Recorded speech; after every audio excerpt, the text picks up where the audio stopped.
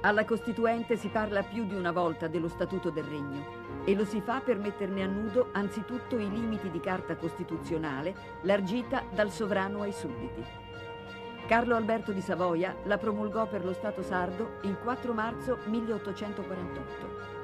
Solo Benedetto Croce ne loda lo stile di documento redatto in un mese soltanto dalla mano di un unico esperto. È evidente che la Costituzione della Repubblica, al contrario, non poteva che essere scritta da molte mani. La sovranità passava al popolo. Lo Statuto del Regno era cosa morta, ma era vigente.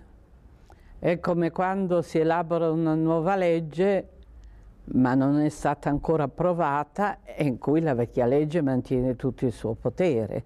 Quindi lo Statuto continuava a essere in vigore. Forse nella speranza dei monarchici e di coloro che pensavano che o l'Assemblea Costituente o il referendum desse la supremazia alla monarchia, c'era la speranza di far rinascere lo Statuto. Magari si sarebbe modificato in qualche sua parte, ma rimaneva lo Statuto. Diversa naturalmente la prospettiva per chi pensava che l'Italia doveva essere repubblicana, perché a quel punto sarebbe stato assurdo letteralmente assurdo mantenere una Costituzione come lo Statuto elargita dal sovrano ai suoi sudditi. Nello Statuto non si parla mai di cittadini, si parla sempre di sudditi.